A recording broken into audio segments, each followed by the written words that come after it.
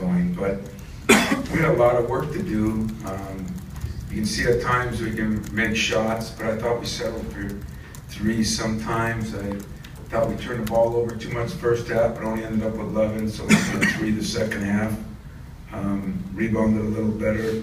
Um, It was nice that Denzel, I didn't mean to rub it in, but the guy's that close to getting something special. We had talked about it this morning, that he's got to look more at uh, being the overall guy, and I thought, uh, you look at his stats, he's six for 13, and the 10 rebounds and 10 assists, um, with only two turnovers, and one was a foolish one. I thought that was a great start for him, and Forbes really started getting in the groove the second half. So we had some work to do with, uh, with uh, Harris, you know, he's, remember what I told you the first day, I said shooters are notorious non-defenders.